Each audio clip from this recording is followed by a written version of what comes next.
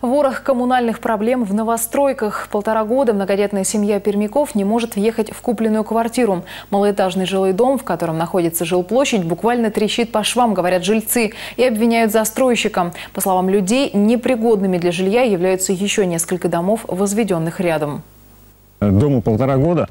Э, оседание грунтов поспособствовало оседанию э, отмостки. Просела отмостка сантиметров 15-20. Дом, да, находится в заглублении, то есть, соответственно, все поверхностные талые воды все стекают в подвал. В подвале дома на Снежной 17 сыро даже в жаркие и засушливые дни. Электрика таких условий просто не выдерживает. По стенам подъездов ползут трещины. Установленные на них в феврале этого года маячки тоже рушатся. Проблемы и с потолками. Так выглядит помещение, где живут соседи Ивана. Въехать в свою жилплощадь семья, в которой пятеро детей, не может уже полтора года.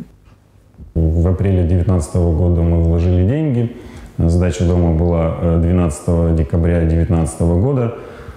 На сегодняшний день наша многодетная семья не может проживать в данном помещении. Во-первых, здесь проходят постоянные экспертизы так как мы находились в суде э, и подавали иск на недостатки, опасаемся за э, газовое оборудование, которое расположено здесь в каждой квартире, эти фотографии Иван сделал весной. Отсыревшая стена над газовым оборудованием, обледеневшая труба в туалете, разрушающиеся вентканалы на крыше. Жители полагают, что новостройка в таком состоянии из-за нарушений во время строительства. И опасаются, что дальше будет только хуже. Тем более, что пример есть. Недалеко от малоэтажки на Снежной находятся ее близнецы на улице Речная. Они построены на год раньше. Во многих квартирах из-за влажности проступила плесень. Натуральная плесень, потому что...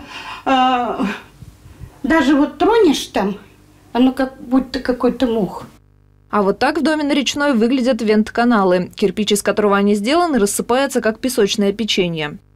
Двух с половиной лет эксплуатации дома э, произошло разрушение, происходит разрушение кирпича, э, соответственно, в дымоход попадает э, вот эта вся щепки кирпичные, что засоряют дымоход и газовое оборудование выходит из строя.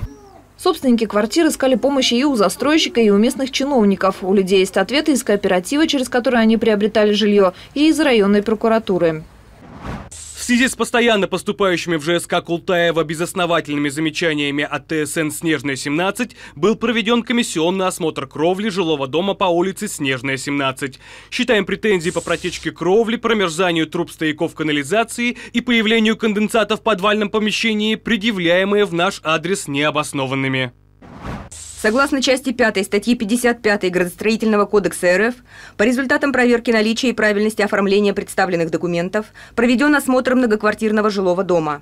По результатам осмотра установлено, что многоквартирный жилой дом соответствует проектной документации. Нарушений закона, требующих принятия мер прокурором, в ходе проверки не установлено. Мы направили свой запрос с просьбой прокомментировать ситуацию в администрацию района и инспекцию государственного жилищного надзора. Ждем ответов.